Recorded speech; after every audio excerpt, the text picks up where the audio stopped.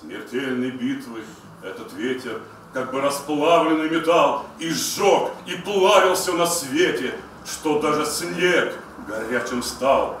И за чертой последней страшной бывало танк и человек, сходились схватки рукопашной, хватал руками человек горячий снег.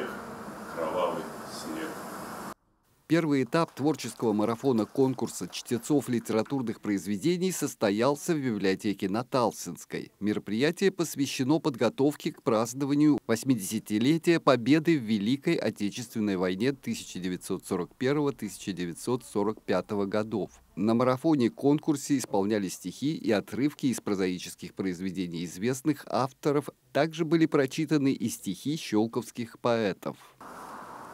Но срок пришел, лавиной грозной мы навалились на врага.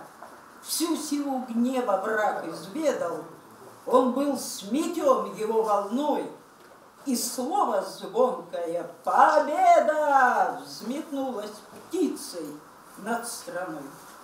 Инициаторами мероприятия являются Министерство информационных и социальных технологий и Министерство культуры и туризма Московской области, а также Московская губернская универсальная библиотека. В марафон-конкурс проводится Советом ветеранов при поддержке администрации городского округа.